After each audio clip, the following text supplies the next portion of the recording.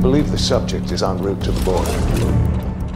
And, uh, we can't let her cross.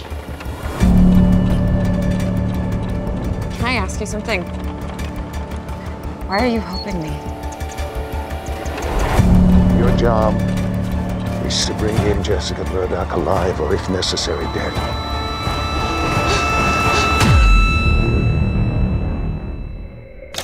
Does Jessica know?